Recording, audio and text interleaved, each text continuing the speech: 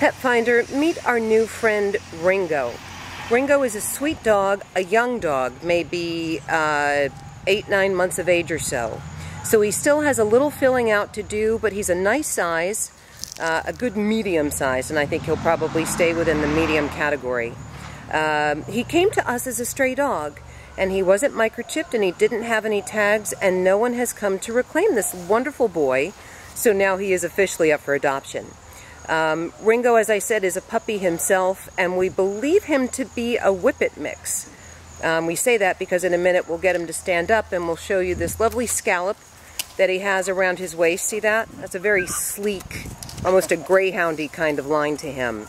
Um, a very friendly dog who likes everybody, men, women, um, other dogs. He has no problem with food or treats having toys taken away from him.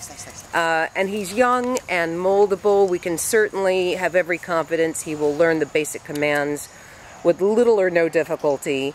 Um, what's really important here is that he's got a great temperament. He has a lot of love to give. He's at the beginning of his life. And perhaps this is the dog that will live it with you. So this is Ringo. You can meet him Monday through Friday evenings from 6.30 p.m. to 8 o'clock or Sundays 12 noon to 4. You're welcome and encouraged to fill out an application online, cliftonanimalshelter.com, or you can do one in person. Um, so please come and meet Ringo. We're hoping he will go quickly. And of course, we will do all the vetting, the neutering, the vaccinating, the microchipping, um, to make sure that he leaves here healthy and ready to start his new life. This sweet boy is Ringo.